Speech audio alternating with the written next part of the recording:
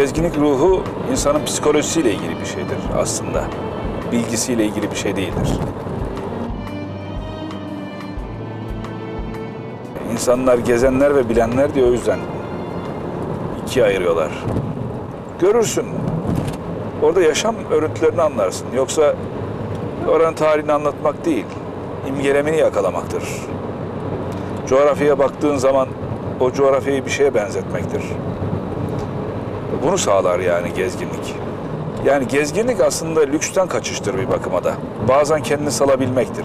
Sosyal ilişkinin de dışına çıkmaktır. Kendi kendine kalmaktır. Bu yönüyle iç eğitime imkan veren bir yanı vardır. İnsanın iç dünyasını eğiten bir şeydir. İnsanlaşmasını sağlar. Bilgiyle sezgiyi yan yana getirir.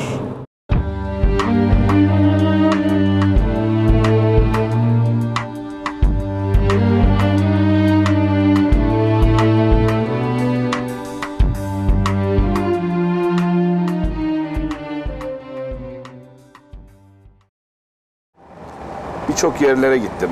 Onlar üzerinde düşündüm. Şehirler hakkında düşündüm. İsimler hakkında, tarih hakkında. Aslında bu bir edebi meraktı. Ama zamanla tabii edebi merakla tarihsel merakın yan yana geldiği hallerde iş biraz daha çetrefilleşiyor. E, artık gezmenin şeyi kalmıyor, hududu kalmaz oluyor.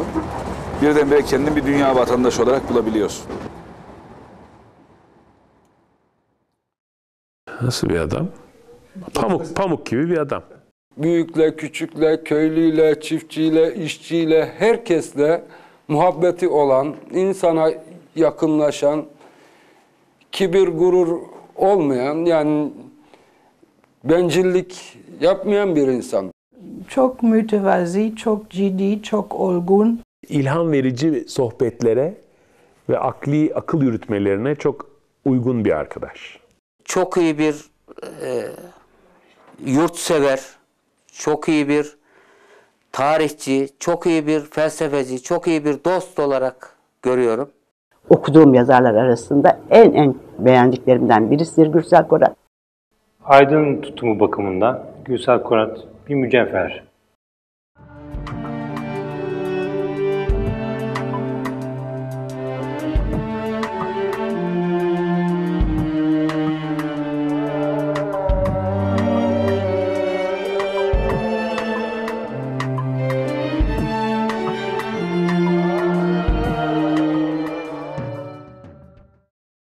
Ben bir romantiyim yani bunu e, biliyorum. Hem e, fütürist hem romantik olan bir adamım. Bundan geleceğe ilişkin siyasal ve e, ütopik e, bir e, tasarım geliştirmeyen bir adam çıkıyor. Ama geçmişe de gidip e, saplanmayan bir adam çıkıyor. popüler söylem karşısında Gürsel Korat'ın romanları farklı, daha zor, daha karmaşık, bazen de çok acılı geçişleri olan bir anlatı. Orada bir tarih var.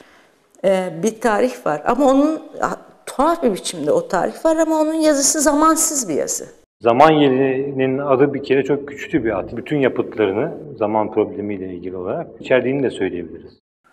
Günümüzde söyleyemeyeceğimiz bazı ya da anlatamayacağımız bazı şeyleri biraz da romantik karakterimizden ötürü tarihsel zemin üzerinde anlatmamız daha kolay olur. İnsanı içeriden kavrayan, o insanı düşündürten, o insanı hareket ettiren, o insanın başka insanlara e, e, dramatik çelişkisini yakalayan, talihini dönüştüren, kaderini belirleyen, Tanrı gibi davranmayan bir roman olabilir mi?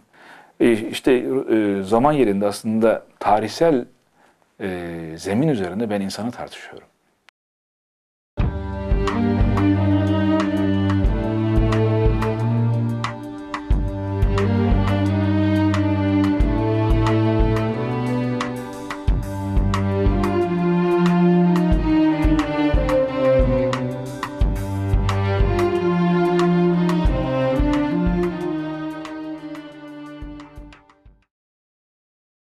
Bir defa geçmiş imgelemi çok e, zengin, çok dolu.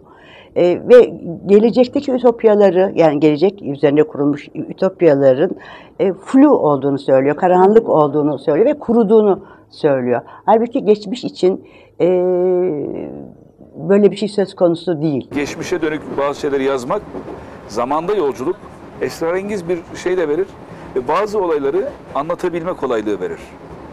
Aslında e, romancının amacı o yüzden tarihi anlatmak falan değildir.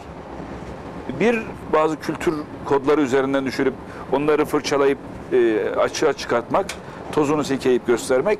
İkincisi ise gerçekten insana dair soruları bir tarih dekoru önünde sun- sunmak. tarihsel dönemleri yeniden kurguladığımız zaman e, aslında bugünün okuru için yani yazdığımız romanı, öyküyü okuyan okur için e, onun kendi geleceğine yönelik bir tartışma başlatmış oluyoruz ki edebiyatın işi bu.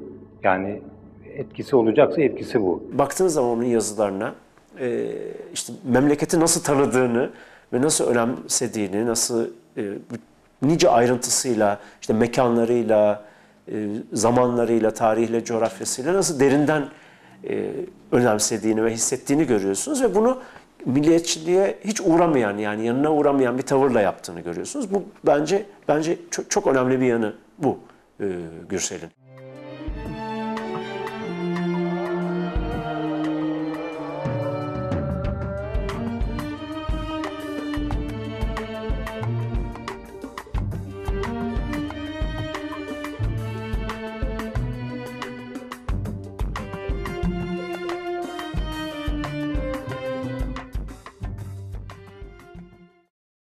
Yazmaya e, kendini adamış bir yazar.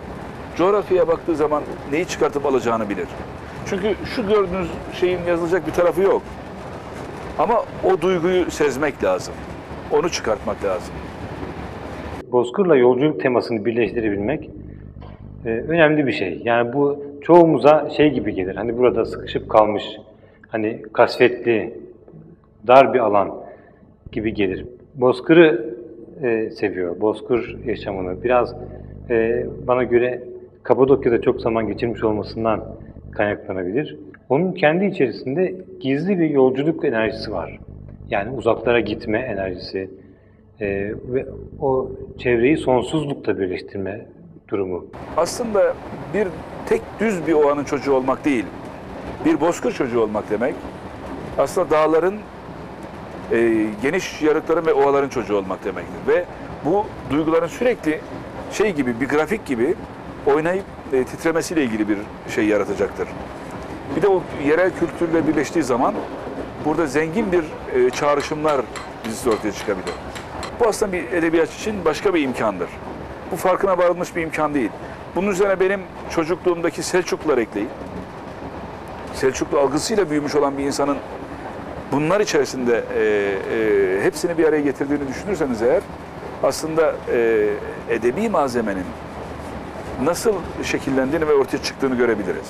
O bu toprakta yaşıyor. Bir Selçuklu, bir Rum. Bu toprakta geçmiş her şeyin bir karışımı olarak.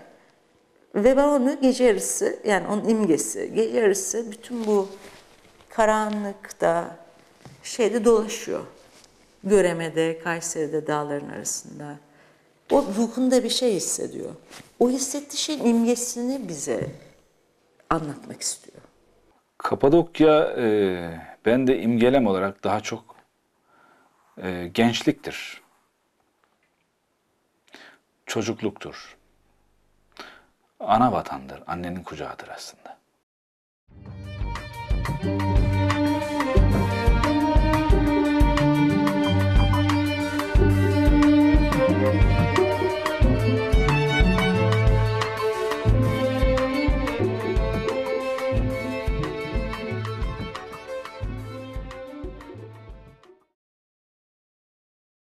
Nasıl e, İnce Mehmet'ten dolayı Çukurova Yaşar Kemal'le özdeşleşmişse e, Kapadokya'da Gürsel Korat'la bence özdeşleşti. Ben onun özlem olarak da buraya Ankara'dan buraya gelmek istediğini biliyorum.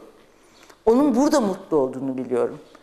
O şey gibi sanki. Yani hakikaten buradaki dağlar, taşlar, ağaçlar buranın ruhunu böyle ruhunda taşıyan birisi. Bir kere en baştan e, çok seviyor.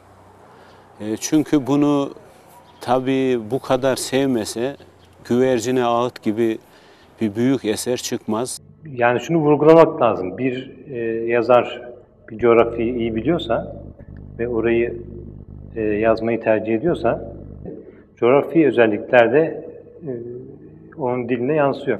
Gürsel Korat, Kapadokya yöresinin bilgisine sahip olduğu için diline de sahip. Yani sadece bilgisine değil çünkü duygusuna da sahip. Dilde e, duygudan çok şey vardır. Gürsel Korat 13. yüzyıl Türkçesini anıştıracak bir dil kuruyor romanlarında. Bütün deyişler, nefesler, e, atasözleri, tekerlemeler o günün Türkçesini bize anıştıracak biçimde yeniden kurulmuştur ve hiçbirisi anonim değildir. Eski lügatlarla e, eski zamanları yeniden kurmak daha kolay bir şeydir kuşkusuz.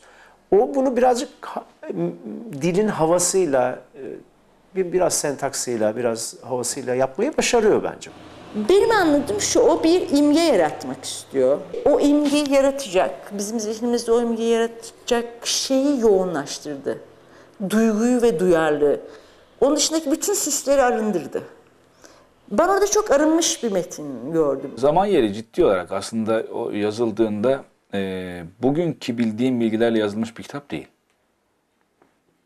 Zaman yeri yazılıp e, kendi estetiğini, e, kendi düşüncesini e, aşılayan, geliştiren bir kitap oldu. Kışkırtıcı bir kitap oldu. E, yani yazanı da rahat bırakmadı, okuyan da rahat bırakmadı. Öyle bir kitap oldu. Anadolu'nun işte bir sürü kültürün e, harman olduğu bir coğrafya olması çeşitli yaklaşımlar tarafından böyle gururla sahiplenilen bir miras. Ama nasıl bir miras bu? Ona daha dikkatli bakmaya çağırıyor bizi. E, zaman yerinde zaman nedir sorusunu soruyorduk. Ve e, zaman e, sorusuna verdiğimiz cevap mekanla ilişkilendirilerek tartışılıyordu. İkinci kitapta ise e, yani e, Güvercin Ağıt'ta ise e, zaman parçalara bölünerek tartışılıyordu. Üçüncü kitapta ne yapacağımı bilmiyorum. Onu size söyleyeyim.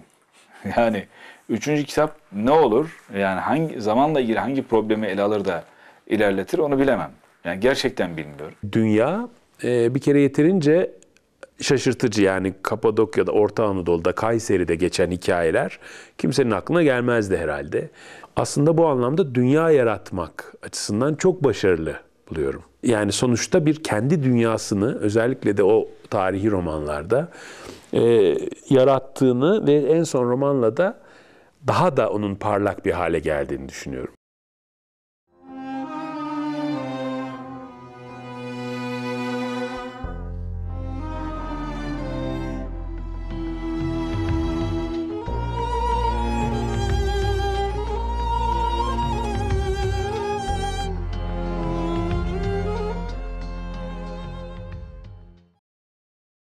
Gürsel Korat e, edebiyatımızın en bence önemli isimlerinden birisi, günümüz edebiyatının en önemli isimlerinden birisi ama e, bunun karşılığı olan e, tanınmışlığı yok. Ben bir türlü bunun nihai bir sonuç olduğu hissinde değilim. Bir süreç olduğunu düşünüyorum.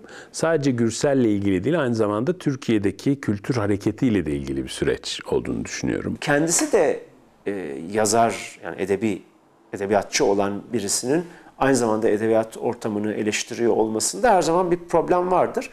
Ama o da bunu uygun bir dil ve edayla bunun üstesinden geliyor bence. Yani bunun da o da bu riskin farkında. Gürsel çok korkusuz biçimde kendi fikrini söyleyen bir yazar. Başka yazarlar hakkında fikrini söyleyebiliyor. Bir sürü insanın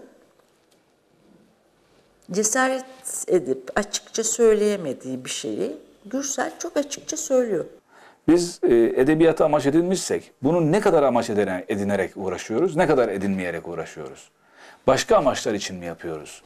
Yani biz mesela ünlü olmak için mi yazıyoruz? Biz efendim e, televizyona çıkmak için mi yazıyoruz? Sinema e, filmi yapılması için mi yazıyoruz? Zengin olmak için mi yazıyoruz? Ve başka şeyler. Yani bütün bunlar başka araçlara e, karışması anlamına gelir. Bu anlamda edebiyat metniyle uğraşıyorsanız edebiyat metni amacınız olmalıdır. O anda ben şu ödülü almak için yazıyorum olmaz. Bu bir tercih yani ben dışarıda durayım bu bir tercih ama içerisi sana hemen gelecek diye bir e, durum yok. Böyle bir toplan edebiyat toplantısı mı olur diyeceğim. Ayıp olacak. Ondan sonra bu nasıl üslup diyeceğim. Ayıp olacak. Bunlar nasıl sorular diyeceğim. Çok ayıp olacak. Gürsel Korat e, ed- edebiyatın e, velayet, vesayet kabul etmediğini bilen ve bunu söyleyen bir yazar. Davranışları da tam böyledir. Yani e, ödüllere karşıdır. E, piyasa ilişkilerine son derece karşıdır. Ve çok tutarlı davranır bu konuda. E, bu da günümüz e, koşullarında belki e, tanınmayı, geniş okur kesimlerince tanınmayı önleyen bir şey ama edebiyat adına da çok bir kazançtır ve bir edebiyatçı duruşu olarak da çok saygıdeğer bir duruştur. Bir popüler edebiyatın imkanlarını kullanmak yönünden iktisadi güç olarak iktidar var. Bu iktidar e, gerçekten kitabın pazarlanmasıyla, metalaştırılmasıyla ilgili bir iktidardır. Bu edebiyata ilişkin bir şey değildir. Popüler kültürün işidir. Öbür iktidar ise sözün iktidarıdır. Merkezinde e, neyin durduğu zamanla değişir. Genel geçer anlayış, söz düzeninin anlayışıdır. Buna bütünüyle karşı çıkmak, yanlış bulmak e, söz konusu olmaz. Yani ben neyin dışında duruyorum sorusunu daha çok e, iktisadi olana e, tamamen yatsıyarak e, dışında duruyorum diyebilirim. Ama şu andaki e, söz düzenine de dışarıdan bakıyorum. Yani ben orada değilim. Ben başka bir yerde duruyorum. E, bu söz düzeni bir gün geçerli olursa bu da tanınmış bir şey olur. Yani iyi edebiyat dediğimiz şey de aslında dönemin kabulleriyle oluşmuş bir şeydir. E, zamanı gelir, olur. Zamanı gelmez, hiç olmaz. O anlamda biz bugün burada hiçbir zaman zamanı gelmeyecek bir adamla konuşuyor olabiliriz. Gönül